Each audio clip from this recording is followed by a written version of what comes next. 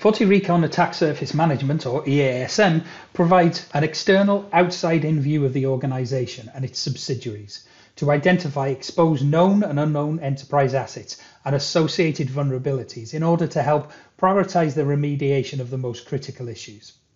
EASM allows you to discover your assets by scanning for domains, subdomains, IP addresses, subnets, servers, open ports, and services. Identify, identify security issues such as exposed services, public cloud, uh, public cloud service misconfigurations, and third-party software code vulnerabilities, which can be potentially exploited by malicious actors.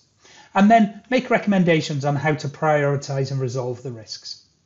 This information is delivered in the form of a risk report, which can be used by the CISO, management, and InfoSec teams to identify newly added assets, monitor how organizational security is changing over time, prioritize remediation, and track what issues are still outstanding.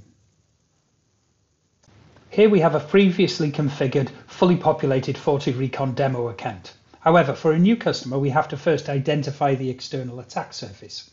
To do this, you seed the FortiRecon system with the name of your organization, and the system goes away and hunts for all of your associated network entities and assets. In this example, by searching multiple public information sources, FortiRecon has found multiple AS numbers, IP blocks, IPs, domains, and subdomains.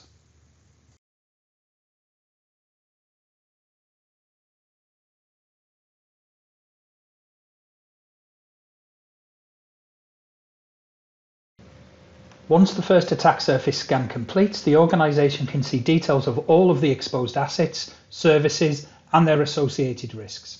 CISOs and security teams can use this intelligence to focus their efforts on the areas of greatest risk, such as the most severe and widely exploited vulnerabilities, before remediating other issues.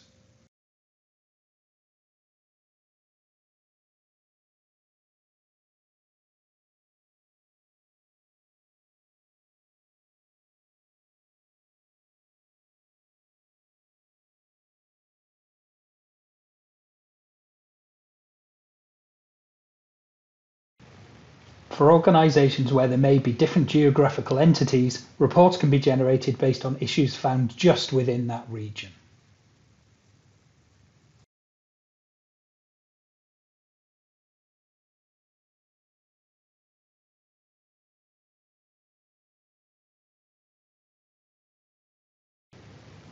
Leak credential monitoring is part of the EASM module and allows organizations to see which of their users' credentials on third-party sites have been compromised, which may be a risk to the organization due to credential stuffing attacks.